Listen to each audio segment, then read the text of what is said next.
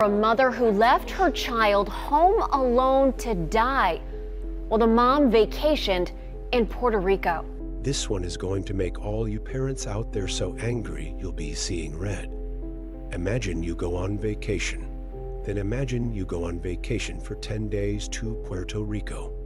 Now imagine that you left your 16 month old daughter at home, alone, in a crib, with no food and no water for those 10 days. Animals take care of their infants better.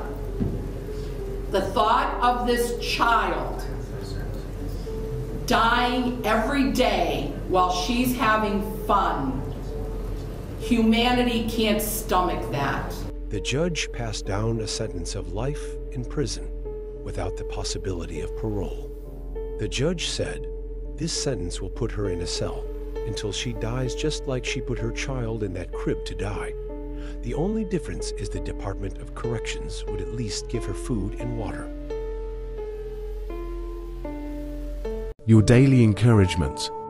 But whoever causes one of these little ones, who believe in me to sin, it would be better for him to have a great millstone fastened around his neck, and to be drowned in the depth of the sea.